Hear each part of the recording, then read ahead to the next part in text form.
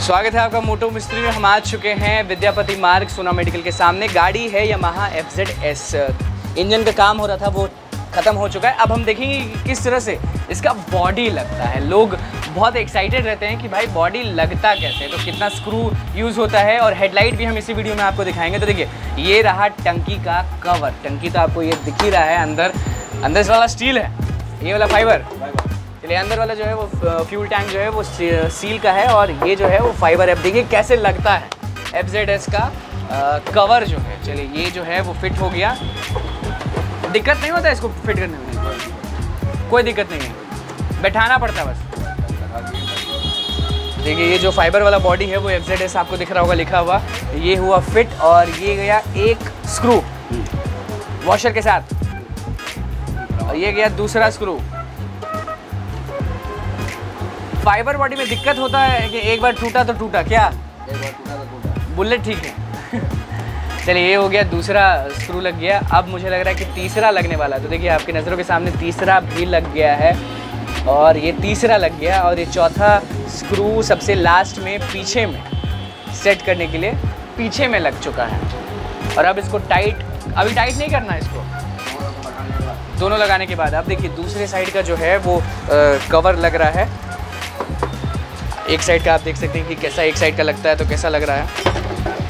देखिए ये वीडियो बस बना रहे हैं हम लोग इसीलिए क्योंकि जिसके पास एफ़ है वो अ, कभी अगर अपना अ, टैंक का कुछ प्रॉब्लम हो जाता है तो खोल तो लेता लेता है इंसान लगा नहीं पाता तो अब ये देखिए हम खुद आपको देखिए नॉर्म ये देखिए फिट हुआ यहाँ एक लगेगा।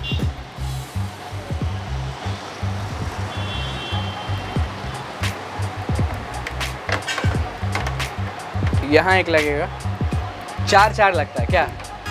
यहाँ दूसरा वाला लग गया। यहाँ तीसरा।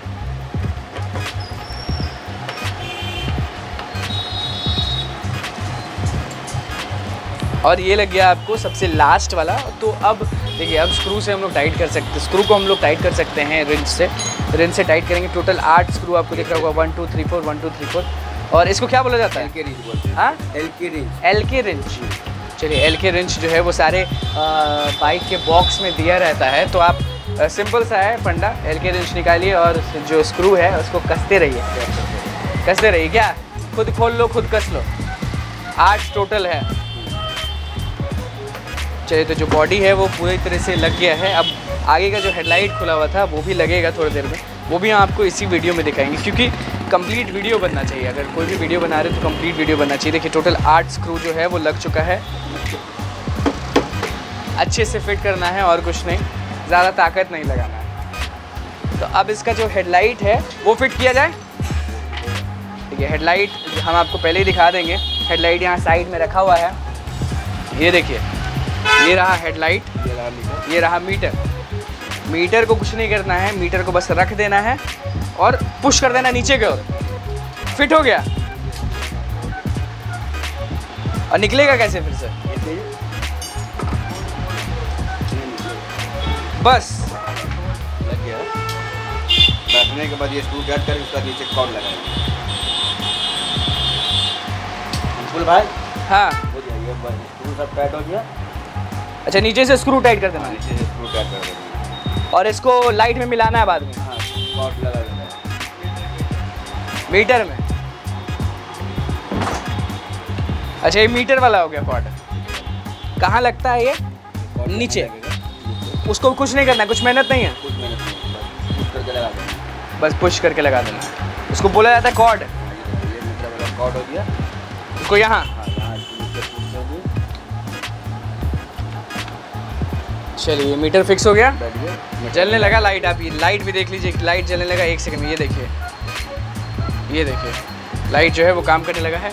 अब इसका जो हेडलाइट का कवर है वो आप देख सकते हैं आपकी आँखों के सामने ये कॉर्ड जो है वो जहाँ तक मुझे एक्सपीरियंस है, वो इधर लगेगा और ये वाला भी अंदर लगेगा। तो बस इतना ही खेल है। इसको भी लगा के दिखा दिया जाए लोगों को।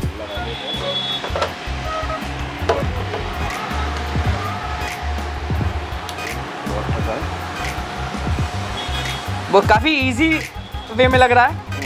कोई मेहनत नहीं। लाइट भी चलने लगा है।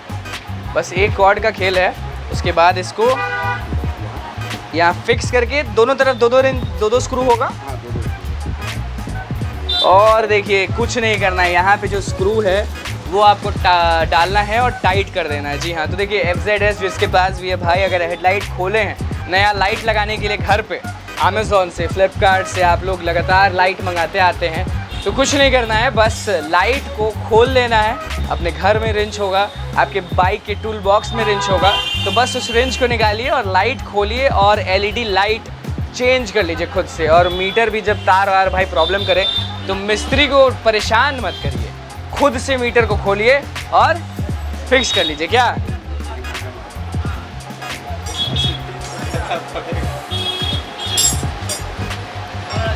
चलिए तो ये हो गया स्क्रू जो फिक्स किया जाता है। फिक्स हो गया। तो बस देखिए ये वीडियो उन्हीं लोगों के लिए था जो एफ़ जेड एस रखे हुए हैं। दोनों बॉडी हमने लगा के दिखा दिया। मीटर भी एक सेकंड का काम था। कॉर्ड कैसे फिक्स करना था वो भी आप देख लिए हेडलाइट कैसे फिक्स हो रहा है अभी भी रिंच से टाइट किया जा रहा है तो कुछ नहीं है।